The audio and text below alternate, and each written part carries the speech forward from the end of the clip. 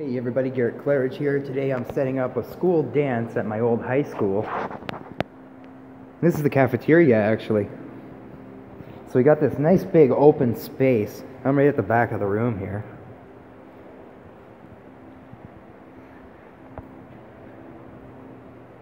It's going to be a pretty good dance. Right at the front of the stage there's this power alley, the four 18 inch subwoofers. The tops, so you can hardly see them right now they're actually uh, double 8 inch woofers. They're rather small here, see. But very efficient, very loud, efficient, and sound good. They're loaded with Eminence parts. That's a custom project we did. Now for the lighting, you can see a laser up there, and uh, of course those uh, long bars that were at the back that are pointing up to the ceiling here. There's also uh, another little laser there, little red thing you see. That's a micro galaxian doing the little star dots everywhere. There's a uh, green animation laser next to that. Should have went and turned that on. Um, let's see here. For I'm using seven moving heads, moving heads, and actually I'm just realizing I don't have these hooked in yet. We have uh, another uh, four moving heads at the front of the tables here. So for the amplifiers, it's going to be kind of hard to see in here. Actually, there's a little light. So we have two, these are the uh, Audio Pro DCM 3, oh no, I'm thinking of this here, sorry. AP 3000, Audio Pro AP 3000 by Yorkville.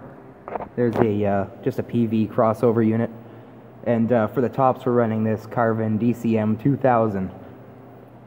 So yeah, just a little mixer our uh, software controller here. Then we have the regular scratch mixer. Got MacBook, Virtual DJ 8, and all the fanciness that comes with that, including the the software control or the iPad control. Uh, there's a monitor here, just a Behringer, and here's my lighting uh, rig. Some of the scenes. And this is a touch screen.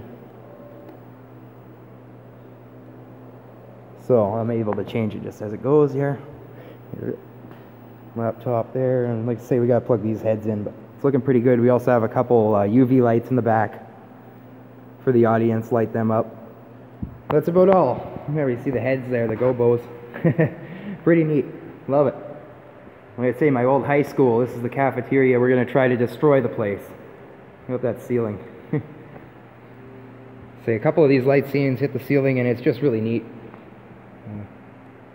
Not that one. uh, try to find them where they're up. I can't find them right now. Maybe I can't.